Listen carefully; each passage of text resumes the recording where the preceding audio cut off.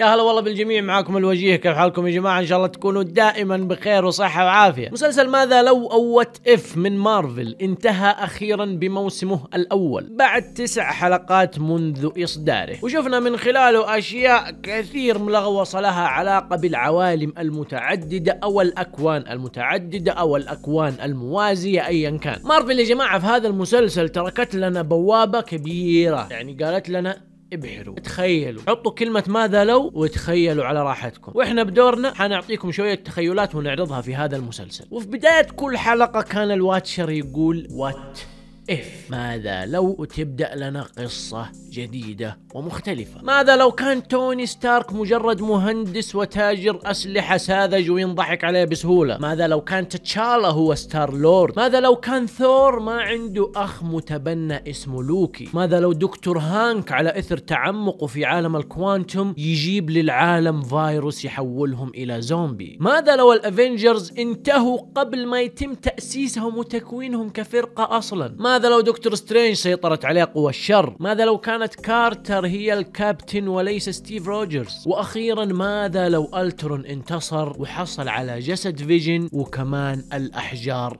كلها؟ وماذا لو ال Watcher بدأ يتواصل مع البشر واللي هو الشيء الوحيد المحرم إنه يسويه وسواه فوضى كبيرة وأكثر من واقع بديل بشكل مختلف تماما عن اللي عرفناه في عالم مارفل السينمائي. ما أقدر أقول لكم يا جماعة أنه المسلسل مرة عظيم. okay مسلسل حلو انبسطنا فيه. ولكن أكثر شيء حبيته في هذا المسلسل أنه خلاني أشوف الأبطال الخارقين اللي أنا عرفتهم بشكل مختلف وبطريقة غير اللي هي مرسومة في بالي عنهم. وكيف أنه شعرة بسيطة تغيير بسيط في أحد الأكوان راح يخلق بطل خارق جديد وبشكل جديد وبتأثير مختلف. تماما عن التأثير اللي عرفناه عنه في العالم السينمائي. كيف البهدلة والمعاناة اللي مر فيها توني ستارك هي اللي صنعت توني ستارك اللي نعرفه. توني ستارك لو ما إنه راح أفغانستان وانفجر عليها الصاروخ ودخلت شظايا معدنية في جسمه وانحبس في كهف وأخذ كرهينة ما كنا راح نشوف Iron Man أصلا بهذا الشكل. ما كنا راح نشوف توني ستارك بهذا الشكل نهائيا. ومثل ما قال ال Watcher من قلب المعاناة والألم والتضحيات خلق Iron Man أو توني ستارك. من دونها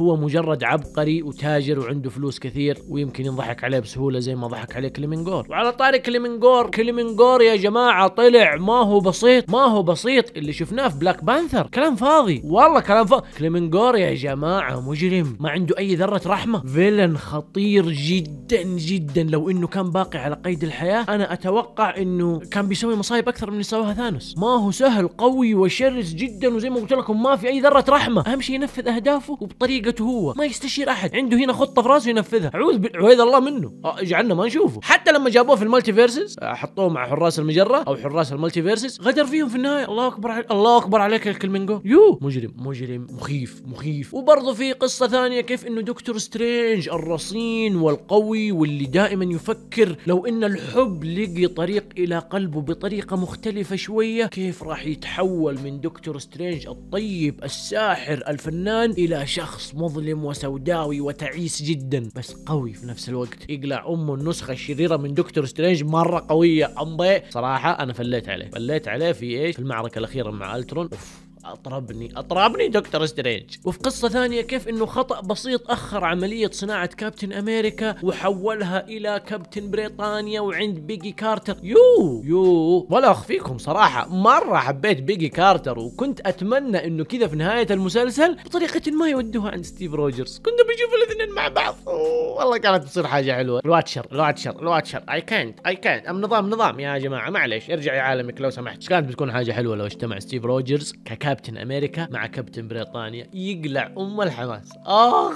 يا ليتها صارت. وأكثر واحدة يعني يمكن لحست مخي من القصص كيف إنه لوكي يعني ثور كلنا نعرف ثور. إنسان okay عنده شطحات شوية بس إنه لما تقرع طبول الحرب ولما تصير المواضيع فوضى ولما تبدأ تخرج الأمور عن السيطرة الولد يوقف. يقاتل كآلهة الرعد ما عنده لعب. كيف إنه لوكي؟ لو ما إنه الأب أودين اتبنى لوكي وخلاه أخو ثور ما كان شفنا ثور اللي شفناه ابدا شفنا ثور ثاني. دلوع يبغى يرقص يبغى يشرب يبغى يحتفل يبغى يسوي هيصة والحرب آخر همه بس يبي يستهبل ويستعرض عضلات شايفين؟ بس لوكي بس لوكي. أودين ما رباه رجعوا لاهله وخلاهم هم اللي يربوه طلع لنا ثور ثاني بشكل مختلف جعلنا ما نشوفه. سبيكة. إيه أسطورة مرة معضل ورهيب وخفيف دم. بس سبيكة. تغيير بسيط. بس غيرت شخصية كاملة بمستقبل بتا يا ساتر تغيرت أشياء كثيرة. كيف ألترون؟ الله أكبر عليه. ألترون ألترون يا جماعة طلع ما هو سهل.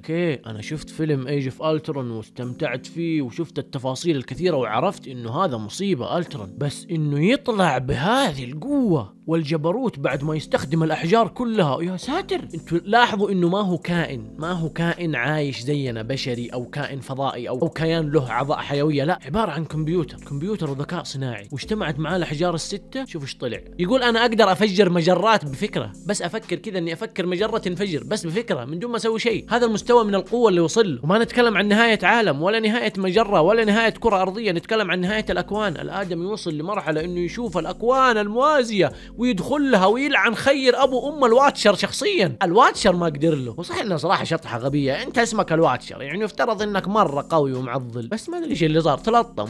وأكل هواء وبرضه شفنا كيف إنه تشا تشا أي والله نسيت. تشالا يا جماعة. اكتشفنا إنه مو بس ملك عظيم وقائد حربي محنك. كمان حتى لو إنه بطريقة ما صار حرامي مع حراس المجرة كان راح يغير أشياء كثيرة. وأكثر شيء بيغيره ثانوس. تخيلوا ثانوس راح يشيل فكرة إنه يمحي نصف السكان اللي في هذا الكون بسبب إنه تشاتشالا صار هو Star-Lord. الفكرة إنه Star-Lord اللي عرفناه في العالم السينمائي المارفل اللي هو كريس برات كويل الولد رهيب وحبوب وراعي أكشن ويضارب وعنده مهارات قتالية كويسة بس ما يقدر يترك نفس الانطباع اللي تركه تشاتشالا لما صار Star-Lord. تشالا إنسان طيب وعنده فكر هنا عنده فكر سياسي هو ابن ملك وما صار ال Black Panther أصلا في العالم اللي عرفناه إلا لأنه عنده تفكير سياسي وآدمي محنك ويعرف يتخذ قرارات صعبة ويعرف يعطي انطباع كويس للناس اللي من حوله. لما صار حرامي في هذا العالم طلع لنا شيء مختلف. المجرة كلها تغيرت. ثانوس يكفيكم ثانوس. ثانوس اللي هدفه يمحي نصف سكان العالم. قال لك كانت فكرة صراحة واستغنيت عنها. ببساطة وشفنا أخت قمورة كيف حتى مستقبلها تغير وما عاد أجرى عليها تجارب. شعرها كان طويل وشكلها كان cute اسم الله عليها. على كل حال يا جماعة للأمانة المسلسل استمتعت بمتابعة جميع حلقاته. okay مش كل الحلقات مرة wow بعض الحلقات كانت شوية رتمها بطيء أو بارد بالرغم من إنها نص ساعة ولكن بعض الحلقات للأمانة كانت مرة ممتعة وتمنيت إنها فعلا ما تكون مجرد نص ساعة. واصلا حكاية النص ساعة هذه صراحة شوية مزعجة. يعني لو خلوها 45 دقيقة أتوقع كان بيقدروا يبحروا شوية في القصص لو تلاحظوا القصص مرة تمر بسرعة. كابتن بريطانيا تحولت boom boom الحرب انتهت أو خلصت الحلقة. ما لحقنا ما لحقنا. يا دوبك شفنا شوية أكشن وشوية فلة وخلصت الحلقة وما عاد في تكملة انتهى. خلاص. ف 30 دقيقة كانت يا دوبك. وريني المهم المهم في القصة واسحب على الباقي. فهذه واحدة من الأشياء اللي ازعجتني للأمانة. لو إنهم وصلوا ل 45 دقيقة 15 دقيقة إضافية والله كانت بتضيف قصص وتفاصيل مرة حلوة وبتعطي قيمة أكثر للمسلسل. بس صراحة شيء مرة رهيب وغريب في نفس الوقت إنك تشوف الشخصيات اللي كبرت معاها وجلست تتابعهم من فترة طويلة فجأة كذا تشوفهم بقصص مختلفة وفي عالم مختلف ومن منظور مختلف. وبحكم إني مرة أحب دكتور سترينج للأمانة حبيت التحول اللي مر فيه في هذا العالم. يعني في البداية صار له حادث ولكن هذه المرة كانت حبيبته معاه فترك انطباع مختلف في نفسه وتحول من شخص مصاب ومكسور إلى ساحر طيب ويسعى للخير ومنها مرة ثانية من ساحر طيب وإلى ساحر شرير وخطير وأناني جدا ولعب في الزمن حاس حاس يعيشها ويقتلها يعيشها ويقتلها يعيشها ويقتلها. وهذه واحدة من الأشياء المهمة اللي حاول المسلسل أنه يخلينا نركز عليها. الشيء اللي بيصير بيصير. إذا في شخص بيموت تراه ميت ميت لا محالة. لو ترجع بالزمن 100 مرة تراه بيموت. مهما سويت ومهما فعلت بالزمن وحاولت ترجع إنك تخلي شخص ما يموت في الزمن في عالم مارفل بيرجع يموت. إذا مو بذي الطريقة بألف طريقة ثانية. فموضوع الموت في عالم مارفل السينمائي هو نقطة حتمية ما لها تعديل ابدا. خلاص الكلام أكثر شيء استمتعت فيه للأمانة هو تحول Doctor Strange. ووجود Doctor Strange في المسلسل كان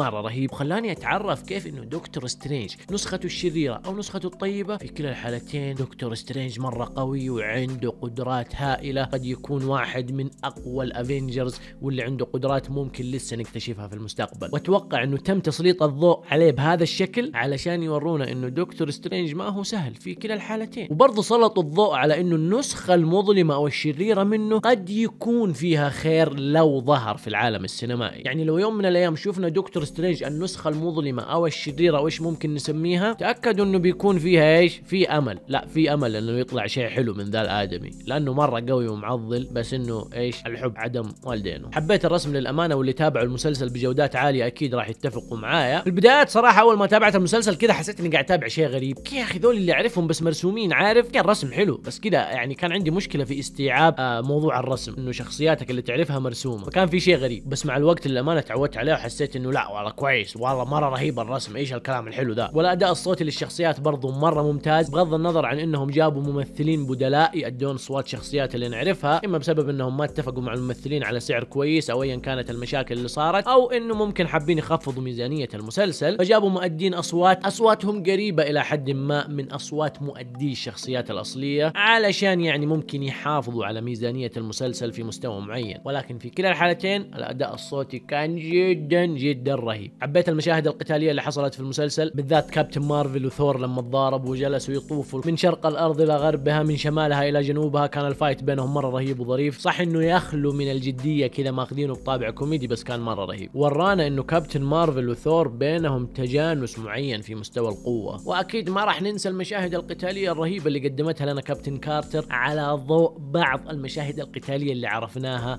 من كابتن أمريكا. وما ننسى برضو المشاهد القتالية اللي صارت في آخر حلقة بين حراس ال multiverse و Doctor Strange ضد المجرم الكبير ألترون واللي مرة كان شيء خطير ومخيف صراحة. يعني كذا في مرحلة ما صراحة قاعد أقول مستحيل يفوز مستحيل يفوز يا أبوي ذا معضل معضل. مثل ما قلت لكم مسلسل ما هو عظيم ولكنه مجرد إنه مارفل جالسة تورينا أبطالنا الخارقين بطرق مختلفة. مجرد 30 دقيقة يا دوب أوريك المهم المهم وأنت بعدين ابحر بأفكارك على راحتك. مع العلم إنه المسلسل راح يكون له موسم ثاني ف يب ممكن تكتمل بعض القصص وممكن لا يتجاهلوا موضوع القصص ويورونا إيش؟ أشياء مختلفة تماما وقصص جديدة. بعض السلبيات في المسلسل من ناحية الكتابة قابلة للتجاوز. مثل ما قلت لكم 30 دقيقة يا دوبك ما في. آه خلاص أمر الله وش نسوي؟ بس حكاية إنه ألترون يقتل ثانوس في جزء من الثاني هذه أنا مستحيل أسامحهم فيها. كتابة رخيصة جدا لحدث جدا مهم وصعب. حرام حرام ثانوس يموت كذا في جزء من الثاني لا ايا كانت الفكرة اللي في راسهم لا. كتابة رخيصة. ثانوس معاه خمسة أحجار. وهذا ما معاه إلا حجر واحد. فجأة كذا يشق لك ثانوس نصين. لا